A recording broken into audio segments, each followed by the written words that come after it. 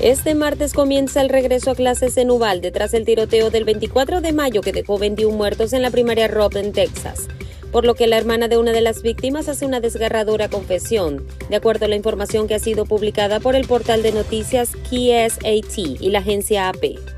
Pero el regreso a clases no será el mismo para todos, y menos para las familias de las 21 víctimas, pues el dolor sigue presente no solo en sus corazones, sino en sus mentes. Así expresó Ángel Garza, padrastro de Amery Joe Garza, una de las pequeñas que murió a causa de las balas que disparó Salvador Ramos. De manera textual, dijo en una entrevista lo siguiente, esperamos que todos tengan un buen año escolar, no queremos que esto afecte a los niños más de lo que ya lo ha hecho.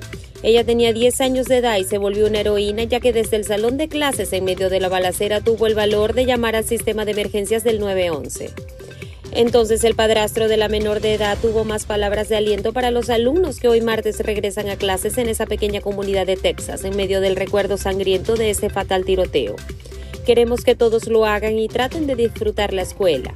Se supone que es un lugar seguro, se supone que es un lugar donde te diviertes, se informó sobre el regreso a clases en Ubalde.